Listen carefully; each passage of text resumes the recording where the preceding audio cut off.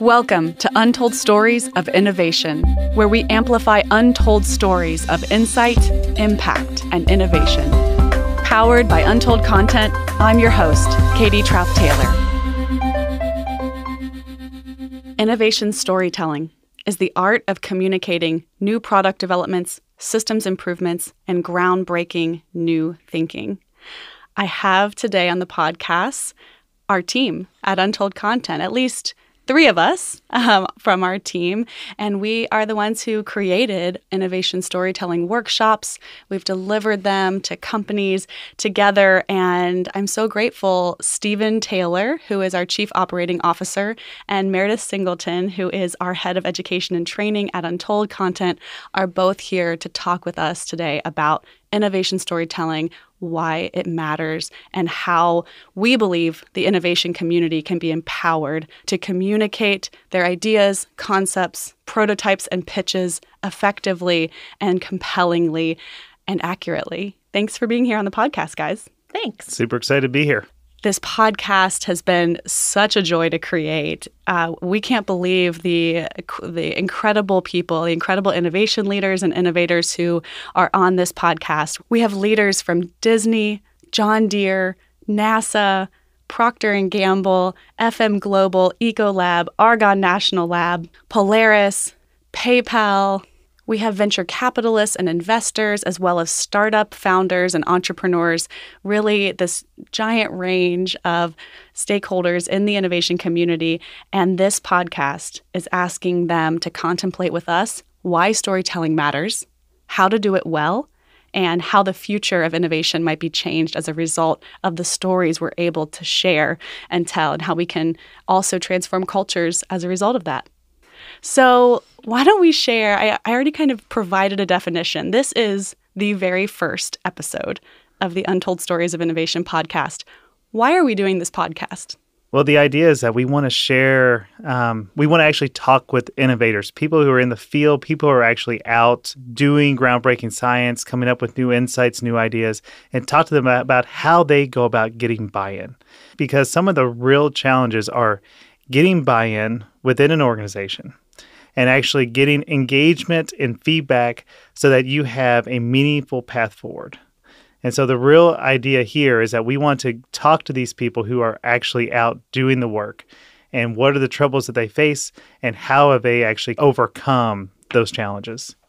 Yes. And from a training and education perspective, Meredith, mm-hmm. why do you feel so powerfully about innovation storytelling and how innovators can be empowered to storytell and to communicate well?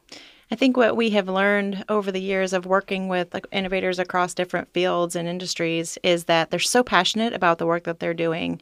And we get that when we work with them on a one on one level. And we have the chance to really dive deeply into what they're working on but what we find across the board is that they're struggling to make that same connection with people that they only have a few minutes with or one short meeting to make a big impact and to explain what they're working on and why it's so important to the company. And so they can do that when we work them through the process one on one or with our team and ask them the right questions. But when left on their own, to work, sort through all the information that they know and to pull themselves away from the research they've been doing. They have a really difficult time doing that. And so, what we have found is there is a way to do that. There is a process to work through what you know and to pull out the important pieces of information. And we've put together the workshop and the training to help them do that. I love our backgrounds. We are such a diverse unit. The, the whole company, Untold Content, is diverse in terms of the, the talent pool that we draw from. And the typical uh, persona of the people on our team is that they have graduate level degrees either in scientific and technical writing or in a scientific and technical discipline, and they're highly published and powerful storytellers let's just share our stories, I think. You know, just briefly, what brought you to Untold? Let's say what our backgrounds are so that there's some context on who we are. Yeah, absolutely. So, my background is I'm a trained chemist. Went through graduate school. I have a PhD in chemistry. So, I spent five years in graduate school. And when I was graduating after doing inorganic chemistry, I said, man, I want to try something different. So that thing that was different was actually going to Indiana to study marine biology at Purdue. Of, at Purdue, of all things. Mar- marine biology in the middle of the cornfields. right. Yeah. I mean, we were trying to figure out how oysters adhere to different substances or different uh, structures underwater. So that was a fantastic experience, but it really caused you to stretch beyond your boundaries um, and where you were comfortable. So when I got done with my postdoc, I decided to go to Shepherd Chemical, and I was there for about seven years. I was a technical manager in their R and D group, and I said, you know, I really love the act of communicating around scientific information and issues, and I want to do that more, and I want to lean into that, um, into building that skill set into others.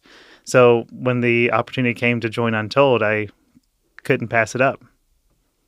Yeah, and what's so interesting, Untold Content has has supported and, and collaborated with Shepherd Chemical in the past, and mm-hmm. some of the storytelling work we've done in partnership with them has helped them win international innovation awards against major chemical players in, in around the globe. And and you in particular at Shepherd were responsible for the creation of your new product development process, right? Your stage gate innovation process, or you you played a major role in its creation and its implementation. Absolutely, yeah. We um, we went through a process of trying to to increase the number of new products that we're actually producing, and so that caused us to say, how are we actually producing those materials? Um, let's actually put in place a stage gate process so that we can help um, define what the funnel is for new product development, and then be able to improve the efficiency and the effectiveness of actually getting new products all the way through that process. So yeah, it was that was definitely a fun part of where I came from. So R&D is really where your roots lie.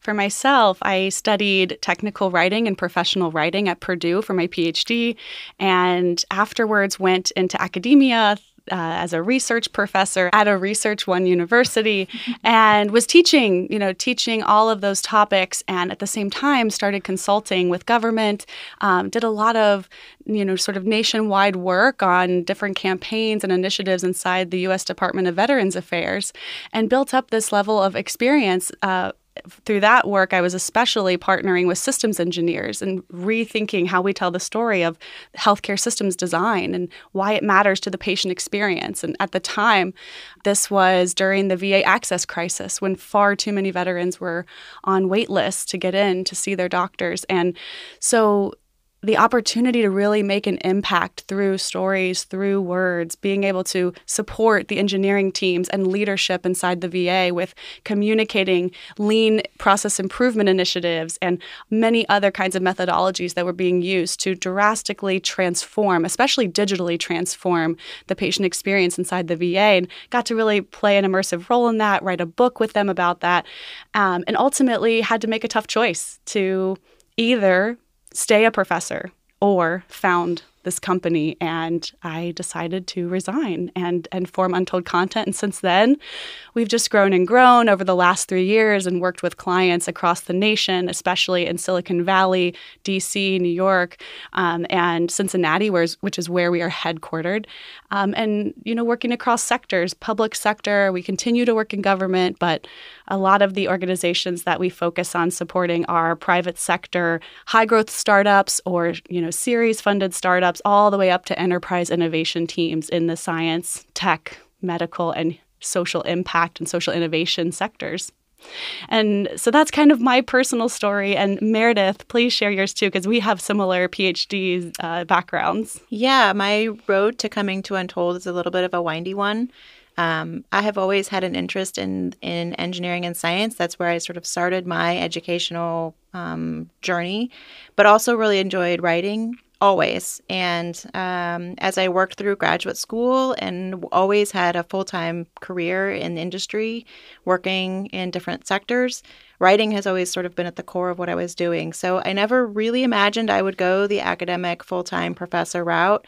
Started down that path and realized it was pulling me too far away from getting hands on and working with clients um, on the freelance and side portion of what I was doing. So serendipitously this this position with untold came at just the right time when i was trying to think about what's the next step i don't want to be teaching in the classroom forever but i do love teaching and training. So this opportunity came about to combine all of those, working with um, science and tech industry, doing the writing that I loved, and also tapping into the training and, and um, teaching background. So yeah. So, what's really interesting about the two of us, Meredith, is we both have PhDs in the same degree, uh, yep. you know, professional writing, but my emphasis was really my research was around public rhetorics and scientific and technical communication and yours was around all those things but also specifically mm-hmm. instructional design so tell us yeah. a little bit briefly about what that is and, and how that adds a different layer to to kind of who we are and, and what we do Instructional design is all about how do you put the learner at the center? Uh, how do you build the content in a way that they are that's accessible to them regardless of the expertise level of the content they're working with. And thinking about how do learners learn there are different theories and strategies around that. And so how do we apply that to content that they're learning whether online in the classroom with an instructor or facilitator or on their own or in some kind of combination of those yeah. And so when we uh, started studying innovation storytelling, we've been doing innovation storytelling at Untold for years. It's really the heart and soul of what we do um, in terms of the, our clients tend to be research and development uh, mm-hmm. uh, departments or um, organizations that are highly innovative in nature. And so much of what they need to do is be able to speed up their innovation process, get more product, more uh, really high quality new products out the door. And so the role that we play with our clients in that process is supporting them in internal storytelling, so getting buy in for potential ideas, and also helping them with storytelling and sharing through each stage gate of their innovation process um, to the point where either that that initiative is deemed not not worthy of per- pursuing or it goes to market or scales. Um, and then at that point too we're oftentimes supporting the external story. So what do customers hear? What do users hear? How do we prepare? How do we support our clients in helping their customers prepare for the future? Mm-hmm. and that's where innovation storytelling workshops and our really hyper focus on researching and understanding the role that storytelling plays in innovation was born.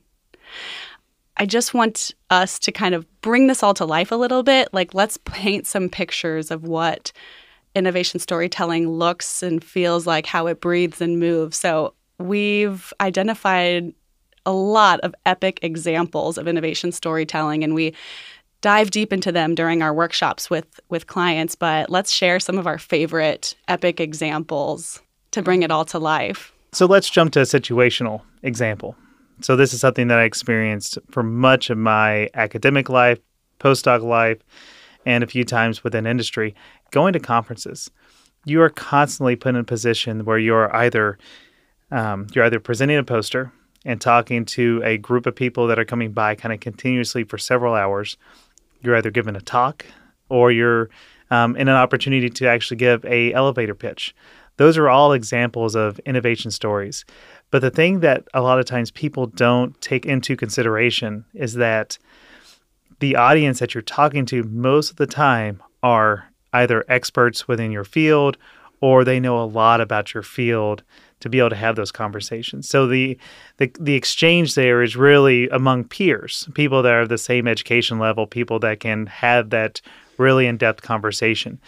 The challenge becomes when you step out of that peer group and you go to people that are semi-experts or not really experts in that area, you still need to give a um, a very engaging conversation, getting even beyond the trying to explain it like you explain it to your parents. Like, how do you talk to someone who is outside your field, maybe an expert in a completely different field, and actually be able to get them to be engaged and really get that authenticity that you're looking for, so that they um, so that they buy into your ideas.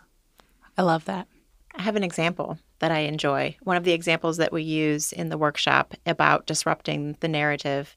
And this example came out of some research we were doing around white papers and what does a white paper look like. I think that's changed a bit over the course of uh, the last few years of how people are using them as producing content.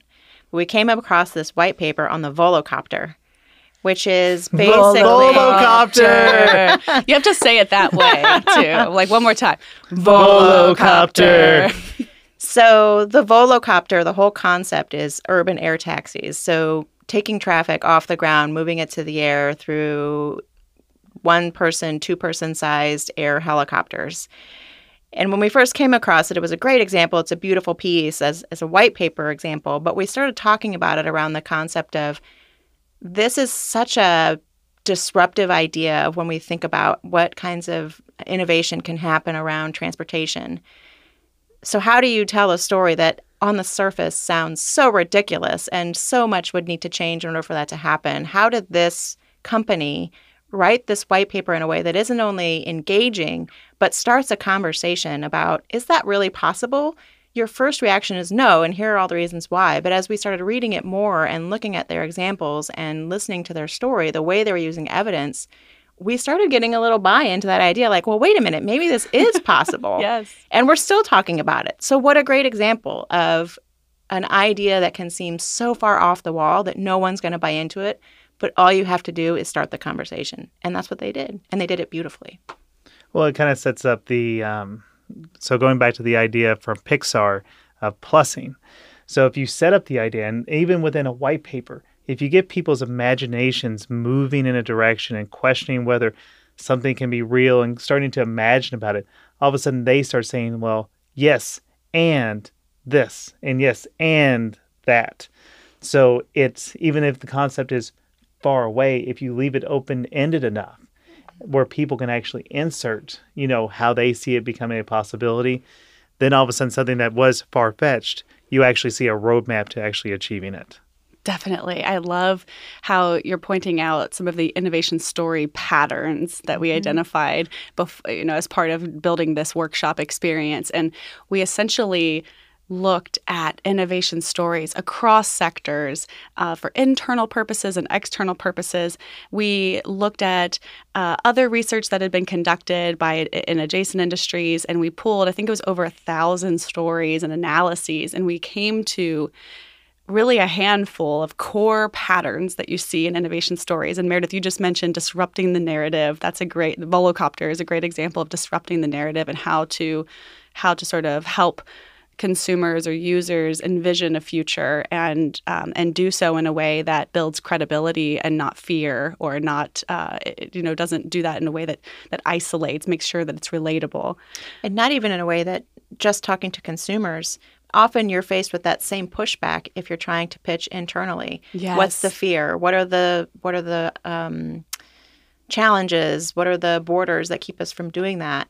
And how do you have responses ready for those right away, lined up, ready to go, because you're going to face those same kinds of pushbacks, whether it's internal or external. Absolutely, yes. Especially when you're, as an innovation team, you're trying to collaborate with all of the other stakeholders internally who you really need to be your partners or you need to be your champions in order to get anything off the ground. And I'm thinking of how critical it is to play well with marketing or sales or operations or uh, consumer insights and really being able to speak each other's language and pull together and, and have a shared, uh, be able to, to make it relatable even internally. So critical. The one narrative that we talked about a lot was the perspiring innovator, the one that has to keep going back to the bench and keep working. And there's lots of examples of great innovations that came out of that process. So one of them is WD 40. So WD 40, the 40 is actually the the number of iterations. It was the 40th iteration that actually became um, the final formulation of that product. But it was a it was a long tedious process. And so having that the endurance to go back every time and keep innovating and keep improving each time, you know, that that takes a lot um, and puts a lot on the innovator. Another thing that it goes back to is that innovation is really about an ecosystem. So you're there is mm-hmm. there really is no the idea of the garage guru. When it comes to innovation within an organization, that's not that doesn't happen. Like the solo genius just yeah. inventing something in isolation in their garage. Right. Coming so, out with the world's next thing. So, I mean, we're not saying it doesn't happen, but 99% of the innovation that's occurring around the world does not happen like that. It happens in teams and it's highly collaborative. Right. And so you have to come at it from a from a standpoint of empathy that what I'm doing, the thing that I'm changing or this innovation that I'm working on may have an impact on these other groups within my organization. So you really have to put them as your audience and you need them to be your customer and to buy into the thing that you're selling. So if you don't put them at the forefront of your story, then it's never going to work and you're always going to get pushback. I think one of the beauties of our workshop is that we spend so much time with the teams in that position of think about who you're talking to, think about what motivates them, think about what challenges they might have, what they're thinking about on a daily basis. And if you don't spend the time to do that up front, you end up spinning your wheels when you're in front of them because you're not giving them the exact kind of answers or evidence or motivation that they're looking for to get them to say yes. And while I think on the surface, a lot of us think we do that, we don't spend a good portion of time sitting and really getting deeply and thinking about that. One one observation we've made with innovation teams is that they tend to be really hyper aware of the end user, the end consumer, the customer. Uh, thank goodness, right? That that's absolutely it always has to be the customer's needs always have to be at the heart and soul of why we innovate. Sometimes, though, the hyper focus on that can cause innovation teams to sort of forget how important it is to also be empathetic and align themselves with internal stakeholders too, in order to assess feasibility and to get the right level of championing that's needed to take a concept to the next phase in the stage gate and working those ideas down into short pieces of information, short stories you can tell along the way. We've heard from innovation teams before that even small conversations you have in the elevator with someone in the right place or in passing when you're at a different meeting and they're asking what you're working on, being able to narrow down and really hone in on what you're doing so that you can tell them really powerfully in just a few minutes or just a few seconds so that you plant the seed for future conversations later on. So you're building that team of champions so that later when you go in front of the stakeholders and they say, okay, give us time to think about that, they start talking to other people who say, yeah, I heard about that and it sounds like a really great idea. And then you've got already someone on your team cheering for you. One of the hardest things about being an innovator, what we hear with our clients and the, the leaders and the product engineers that we're talking with all the time, is carrying the torch for innovation and being the change makers inside of an organization can be exhausting. It can be so, uh, it, can really get you down when your concepts keep getting shelved. It is so frustrating. And I think there's a you'll hear uh, listeners to this podcast you're going to hear the voices of leaders from the most incredibly innovative organizations on the planet and the commonality there is that the organizations embrace innovation at the enterprise level. Everyone is encouraged and trained to think creatively, to think cu- through curiosity, to be able to innovate even within their own line of work. And I don't care if that person is doing the most rote task.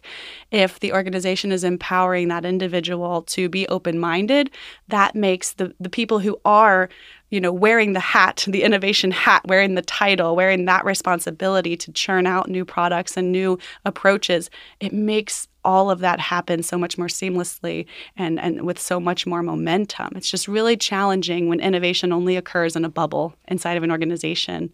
We had a great experience with a, a workshop that we offered where we had multiple people represented, multiple uh, departments represented at the table through the workshop so that everyone could experience and learn about what the innovation team was working on at that moment and and hearing deeply why they were so passionate about what they were doing and that was a great opportunity to share across the organization in a way that I don't think that they had done before so that people in sales and people in marketing and people in areas that don't necessarily work together on a daily basis had a chance to understand why what they were doing was so important, why the message resonated with them and not with others.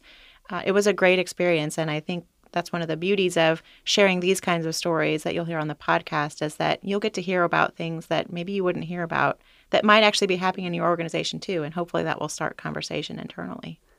I love when a workshop is diverse like that. I mean, we, we provide this workshop certainly just to innovation teams or just to engineers or just to scientists, but it something really interesting can happen in the workshops where they're able to pull in insights and uh, sales and operations and they all come together and they're all still practicing innovation storytelling um, together but we're able to get to a level of empathy and alignment throughout the organization that's more challenging to get to if we're only just speaking to the innovation team.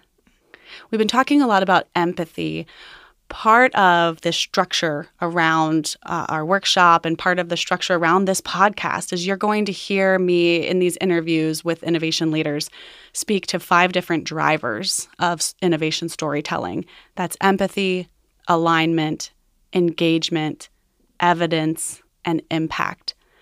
And according to our analyses, according to our boots on the ground in the field, and according to the this you know tons of interviews we've been conducting as part of this podcast, those are the drivers that we see as fueling innovation storytelling. And for uh, an innovation story to be successful, it really needs to have all of those things.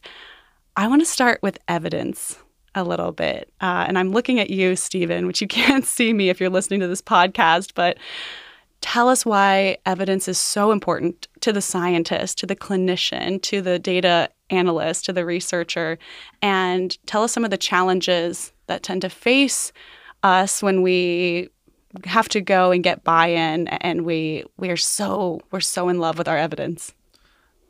Well, as a scientist, you're always taught put it all on the table. And that's a lot of times because you're talking to other experts. And so you're you're going to take your lab notebook or you you have your presentation. You're going to have 70 slides, and you're going to say, "Here's here's everything that I know." But what you need to do is think about who's the audience that you're actually talking to, and what do they need to know to get to the next step. And so we spend a lot of time talking about evidence. And part of the real struggle um, that I think people face is that at the beginning, it's a story you know at the beginning when you start a project you you concept the story or the thing the problem that you're trying to solve. And once you get buy-in that this is an important thing that you need to go solve then every time after that you have to come back and add some pieces of evidence to show that you're building towards something at the very end that is actually tangible. So if you don't pair your story with your audience and incorporate evidence with it then you're actually going to lose a lot of credibility. So one thing that we talk about is looking at a evidence impact quotient. And so basically what that means is that you're looking to have an impact on an audience. And so if you put this like on a bell curve and you say, okay, if I add too much evidence, then people are going to get lost, especially people that are non experts. If I don't give enough evidence, then people that are experts or even maybe non experts are not going to be um, fully trustworthy. So there's an ideal amount of evidence that um, that goes for each audience and each type of story that you're trying to, to create. So that's something that we constantly go back and look at is how much evidence do we need to convey the point that we need to convey in order to have the impact that we want to have. One of my favorite moments from a workshop, an innovation storytelling workshop we delivered last year, was we start the day by having this is a vulnerable thing to ask, but we have participants stand up and pitch to us a current project that they're working on, a current prototype or a concept. And then throughout the day, we introduce the drivers, we introduce epic examples, and we coach them. They have a chance to refine their pitch. And by the end of the day, that pitch looks very, very different. And I think one of the commonalities is that they really hone the impact evidence quotient. Uh, that's really a key, one key heuristic that we find is incredibly helpful in transforming that pitch and empowering them to say, all the data that I started with in the morning that maybe isn't what I need to share when it comes to trying to get leadership to buy into this idea or get uh, operations to, to partner with me on it, right? Like there are ways that I need to pivot, pare down, make it relatable, make sure I'm revealing enough impact and just enough evidence. Really, evidence can strip away impact so quickly. If you just start with a statistic, and you don't have any other persona story or any other sense of how this is going to impact the department, the organization, the consumer, different partners, um, shareholders, these are all to have an awareness of that as an individual on an innovation team. We find that awareness of that makes such a huge difference in their ability to storytell well and get buy in at a much faster rate. Absolutely. So you need to go back whenever you're creating these stories and actually map it out. What is the story that I had to tell? And then what are the pieces of that story that are actually really important to this person or this group of people? Because until you actually map it out based on the audience, you're really just putting a lot of charts on a screen. Mm-hmm. And sometimes they may not need to see charts, or sometimes they really need to see single data points, or they need to see um, large dashboards. You know, it really depends on what your audience is and should always keep them at the heart. We think of death by PowerPoint as sort of a, a PowerPoint that is so heavy and so long that the audience you lose the audience. But in this case, the death by PowerPoint can be to your idea that if you have so much in there that the audience cannot get past slide 1 or slide 2, then your your your idea is killed. You've you've done it. And yeah it's it's really the the power of the appendix. something that we talk yeah. about. Like have that slide ready, have it hidden. Um, and I think slides aside, one of the other drivers, right, is engagement. Mm-hmm. So we really try to encourage creativity in in what medium you should choose to tell your story. Um, one of the individuals who you'll hear from on this podcast is the former VP of Creativity and Innovation at the Walt Disney Company. And he tells a story in that episode, and you'll hear it here in a few weeks, but he tells that a story of the architectural firm that won the opportunity to build Disney Springs in downtown Orlando. They were not the firm that came with the best PowerPoint or the best holographic representation of what that space would look like. It was the firm that gathered a bunch of rocking chairs in a circle in the boardroom. And when the Disney stakeholders came in, there was an older gentleman sitting in one of those chairs rocking, and he said, Come in, sit down. Let me tell you about a place called Disney Springs. And he had them close their eyes and he just story told about how it would look and feel to go through that environment. And that was it they won and they had spent so little on their pitch and so mm-hmm. thinking thinking with engagement in mind what are some of your favorite epic examples for engagement one of my favorite examples of engagement isn't necessarily one that we've pulled from industry but in an actual workshop that we delivered we spent the day with this team who had originally thought that delivering their pitch their innovation pitch meant how am I going to design the slide deck? What is the how many slides is it going to be? What's the template can I use? So we spent the day really breaking out who are you talking to? Who's the persona? What motivates them? We built this great persona for them. Uh, we in the workshops get you out of your seat and start putting you in the position of having to try this and writing a script. What what would that look like? And so the the team spent the day doing that, writing a script. And when we asked them to repitch at the end of the day, their level of engagement meant we're going to stand up here and do a short play, imagining we're in the positions of the consumers that will be directly affected by this innovation we're working on, and speak directly to this is how this is going to change my life. This is what this means to me as a consumer. And they had totally lost the idea of this needs to be a pitch deck, but instead started thinking about we're going to engage the audience by showing them this is what this might mean to the people in the end that we're serving. Totally changed their their thought process, uh, their perspective of what it meant. That for me was a perfect example of how do you engage, engage the teams and engage with the audience and engage engagement all across the board. That example was so powerful, especially because we got to see a few months later, they brought us on to um, not give another workshop, but actually work hand in hand with them to produce what ultimately did end up, from a delivery standpoint, being a slide deck. But we incorporated persona storytelling inside the deck. And those early seeds of how do we add the consumer's voice to our pitch ultimately became a visual representation. We helped them with the design of that and the, the script writing for that and just honed it and made it cleaner. But it was neat to see how a seed of something creative and playful in the workshop ended up transforming the, pri- the primary way that they um, spread the, their message of innovation internally. And they started thinking about how are ways that we can gather and deliver the information and the research. So we're going out and we're asking people who are testing this, well, what if we record them? What if we just take a short video of them while they're telling us what they think? So they started thinking differently about how to engage as well. Yeah, and that comes into the front end of innovation as well, and their ideation process, how they come up with ideas and seed ideas to one another or collect insights and transform them into prototypes. So, one of the other things about being a perspiring innovator or going through this whole process is that it's not just the innovator that's perspiring. Organizations themselves put out really lofty missions and goals. And so, even to to innovate or to constantly be pursuing these these um, really far fetching ideas, you know, that is an that is an act of a perspiring innovator, always trying to reach and improve to get to the next thing. So I'll give you an example that really touches me, and you all have heard this story a ton, and it's it's still such a great story because of the way that people describe failure narratives. You hear us laughing because Stephen gets so excited about this story, and I, we we kind of tease him about it, but it is it truly is a great innovation story. To, to Stephen's credit, he has honed the pitch of this story in the amount of times we we've debate asked him each to workshop.